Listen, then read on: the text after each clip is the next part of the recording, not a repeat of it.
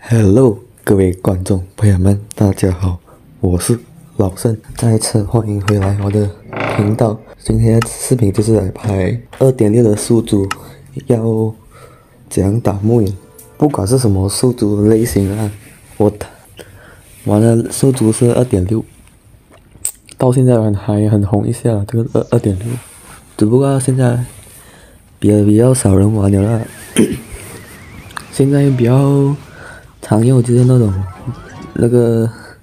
不管叫什么英雄，英文名字叫 M M M O N K 啊，啊，配上那个野猪，然后射射程的话是弓箭手啊，我这个射程是火枪手。OK，对方下一个兵法宝宝龙，然后我的火球失误没有炸那个兵法。我在那边先讲一下，就是哦。宿主类型啊，如果是打打木野的话，我们尽量就不要正面正面的进攻，我们就反面的。讲讲反面的呢，就是如果对方啊，就好像我们这样，对方还要从左边进攻嘛，然后我的就用二点六在那边右边进攻，因为我们的我们的猪啊跟那个木人正面防守的话。还有进攻的话，我们是打不过，完完全打不过，所以我们要反路，反路用进进攻的核心，反路打，这时候对方会有压力哦，给他们给他们有点压力，在另另外一边的进攻，这时候对方打木野的机会就没有，就是我们速转我们的猪，看啊，和这个地方他手上有信封。这时候我就，这时候要加费，我就想办法，想办法速转，然后给对方压力降。OK，现在对方差不多要打木岩了，这时候我的火球炸掉兵法。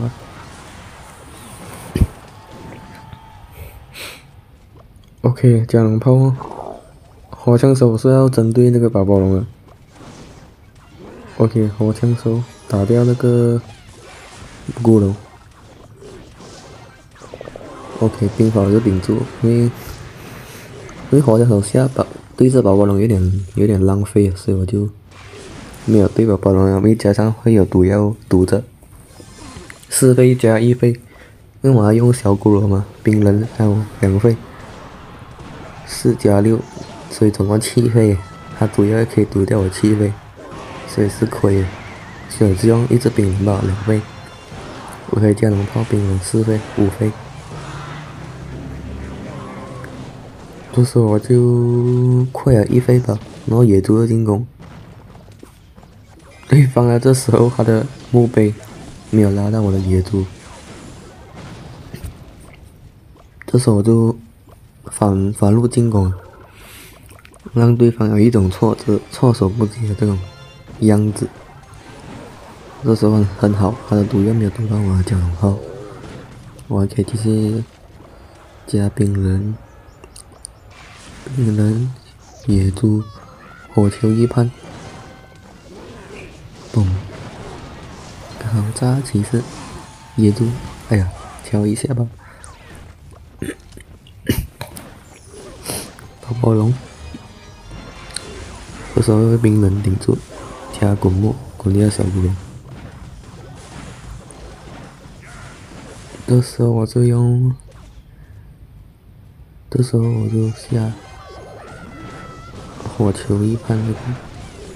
这时候我火球炸不到你的话，然后让我更加紧张。我火球必须要两次还没有炸那个塔，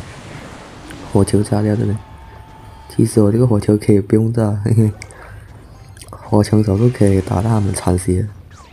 再下火枪，小的都一喷，他的宝宝龙就是他宝宝龙没有，下火枪手他只是打木影的一波，最后一波的木影，这时候是最紧张的时刻，又加火球，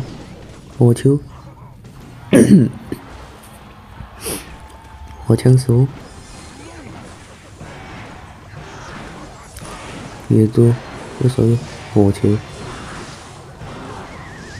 火球，这时候火球真是很紧张哦，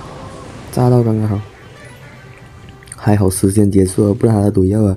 持续了这么久肯定是输了。然后这期视频也还是到这里，如果你们有什么看法的话，记得在这边留言，我们下期视频见，拜拜。